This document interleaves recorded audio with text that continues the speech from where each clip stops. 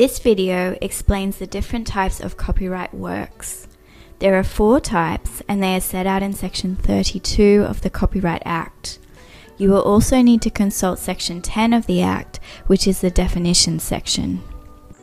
The first category of works is literary works.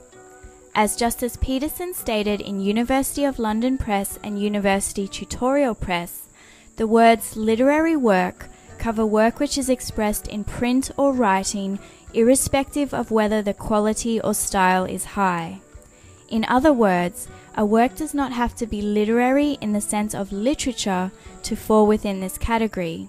The category simply covers works expressed in writing. In University of London Press, the court held that exam papers could constitute literary works. So this category generally covers things like books, poems, letters, and essays. Literary work is defined in Section 10 of the Act to include a table or compilation expressed in words, figures, or symbols. This covers things like databases, timetables, and catalogues. A common issue that arises with these types of literary works is that of originality, which is addressed in a separate video.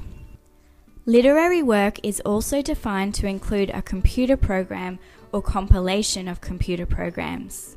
Computer program is itself defined in Section 10 as a set of statements or instructions to be used directly or indirectly in a computer in order to bring about a certain result.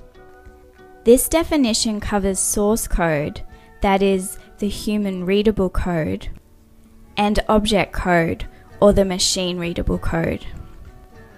The second category of works is dramatic works. Dramatic works are generally those works intended to be performed. Section 10 defines dramatic works to include a scenario or script for a cinematographic film.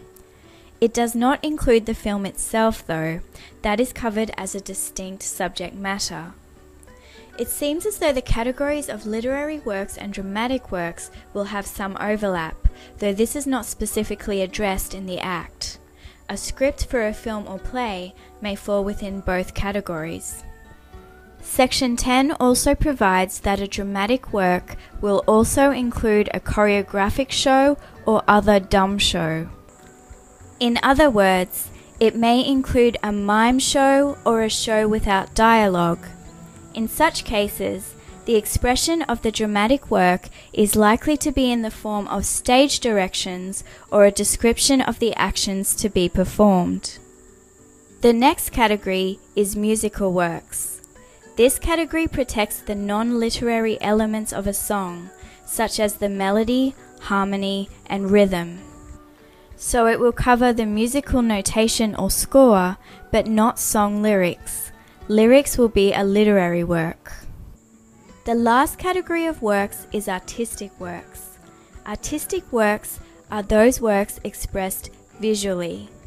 Just as with literary works, for most types of artistic works, the work's artistic quality or aesthetic appeal is not relevant. Section 10 defines artistic works to include paintings and sculptures, drawings and engravings, and photographs. Drawings are defined in section 10 to include diagrams, maps, charts, and plans. Sculptures may be artistic works even if they are functional. However, they must have been created for an artistic purpose and by an artist's hand.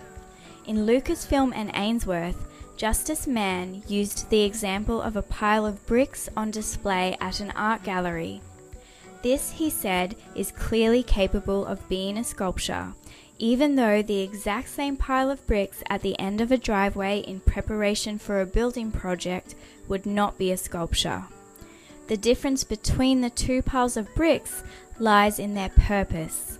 The first is created by the hand of an artist for an artistic purpose, and so is an artistic work. The definition of artistic work in section 10 also includes buildings and models of buildings. Building is defined in section 10 as a structure of any kind. This definition has a wide ambit. Thus, a half court tennis court has been held to be a building under the Act, as has a fiberglass swimming pool. Finally, artistic works include works of artistic craftsmanship, such as items crafted from wood or silver, pottery, and tapestries. Works of artistic craftsmanship are the only works for which a judgment is made about aesthetic appeal. This judgment is made objectively and not by reference to the author's intent.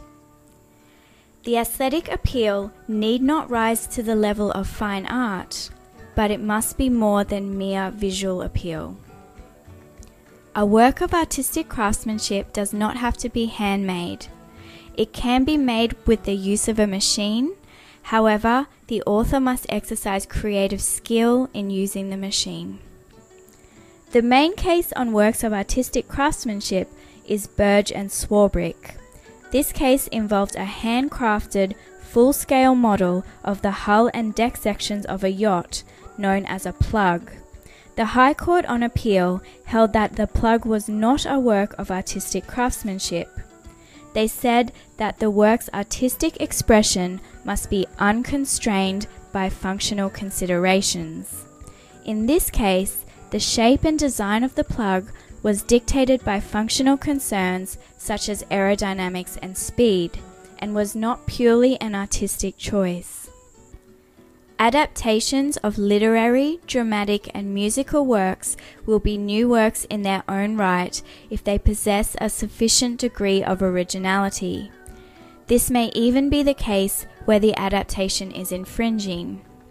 Adaptation is defined in Section 10 to include translations, producing a dramatic work from a literary work, such as adapting a book to a screenplay, and versions of computer programs.